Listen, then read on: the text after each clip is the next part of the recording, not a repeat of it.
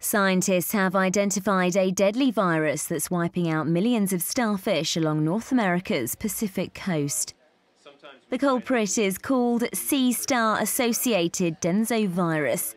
The animals start to become lethargic and then they basically fall apart into a pile of goo on the bottom of the seafloor.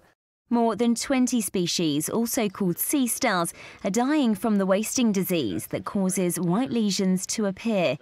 Then the animal's body sags, ruptures, and spills out its internal organs.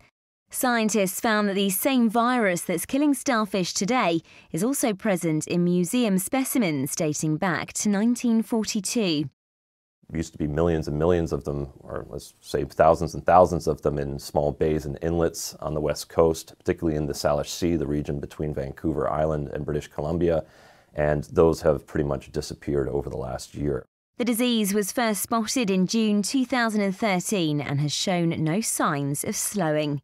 So we think that it's probably some combination of overpopulation. The overpopulation, by the way, was a result perhaps of nutrient pollution, perhaps because of uh, some sort of fitness change in the animals. We don't really know what the cause of that is.